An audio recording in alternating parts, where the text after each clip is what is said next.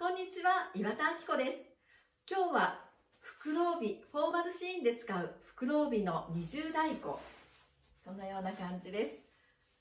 その二重太鼓を改良枕というものを使って、あらかじめお太鼓、二重太鼓をセッティングして、それを背中につけて、二重太鼓にするというものをご説明いたします。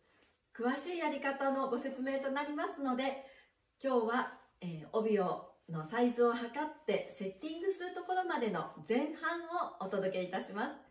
ではご説明していきます。まず袋帯を手先の方から半分に折っていきます。で柄じまいという柄のスタートのところですね。から柄の方に向かって胴一巻きを測っていきます。でぎゅーっとしっかり引っ張ったサイズで胴一巻きを測ります。でそこのポイントに小さなクリップをつけておきます。では先ほど胴一巻き測ったところを中心にして三角形に折っておきます。お太鼓になる方をタレというのですがタレが左表側が下裏が上になるように置きます。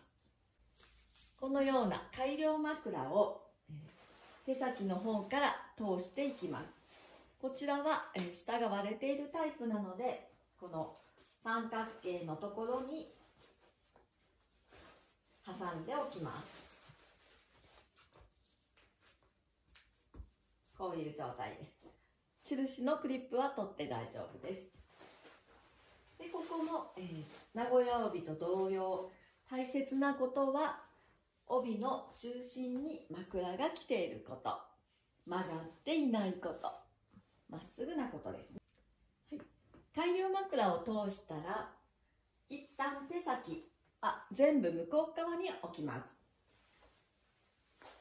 でこの柄じまい柄が始まっているところですね。そこが改良枕の中心に来るように一回持ってきます。でこの長い手先をまたここの改良枕の輪になったところですね。輪になったところから18センチぐらいえー、1つ分プラスアルファぐらい出るようにしてこういう状態です。ここがまでそれプラスアルファの状態ですね。で置きます。でここで下は輪が2枚。ちょうど柄じまいのところです。ここの柄のスタートのところですね。上は4枚。1234枚。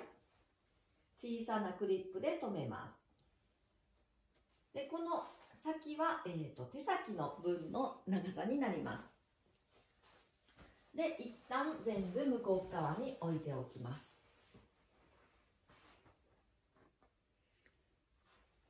で次にお太鼓を作っていきます。お太鼓はタレの長さは人差し指1本分。そしてタレを折り返す位置は、え、この改良枕の下の線が目安です。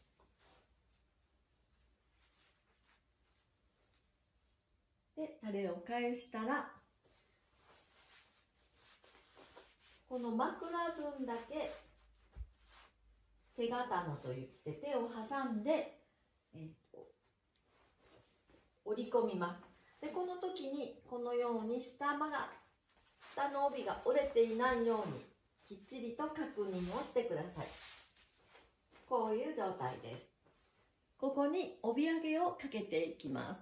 帯揚げは表がし、えー、上になるように。長さの中心が枕の中心にきます。3分の1ぐらい挟みます。帯揚げをかけたら仮紐を改良枕の下の線に合わせて置きます。タレの上に置きます。で余りがないようにしっかり持ってきてこの紐を軸に折り上げます。